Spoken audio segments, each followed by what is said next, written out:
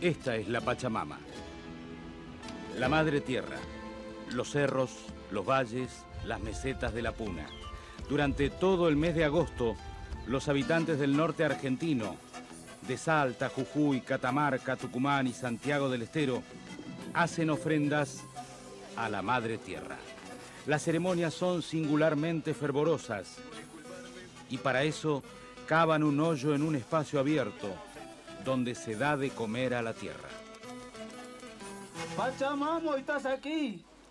Vino, alcohol, coca y cigarro. Vamos a brindar contigo. Las principales ofrendas son hojas de coca, tabaco y alcohol. Pero también se sacrifica un pequeño cordero. Encienden matas a modo de incienso y le brindan tejidos con pelo de llama. El sagrado acontecimiento tiene su fundamento, porque la tierra es fuente de toda vida. La tierra da y la tierra quita.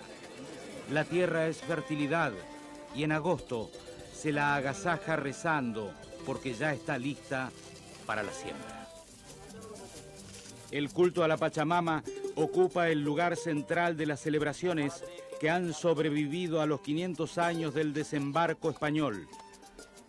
Es hoy un sincretismo porque también aparece el nombre de Dios. En los pueblos del norte, los lugareños convidan a la Pachamama con hojas de coca o con un chorrito de alcohol antes de empezar a beber, como pidiéndole permiso. La Pachamama es un dios femenino que asegura la fecundidad.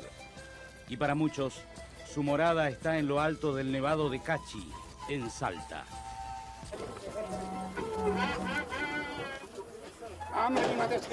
Tunchari. Tunchari, bendita tierra, Lo cierto es que el mito resiste y permanece, tanto que en cualquier momento del año, incluso durante los carnavales, es posible encontrarse con algún nativo de los cerros invocando a la madre naturaleza con estas palabras. Pachamama, casilla, casilla. ¿Qué quiere decir? Madre Tierra, ayúdame, ayúdame.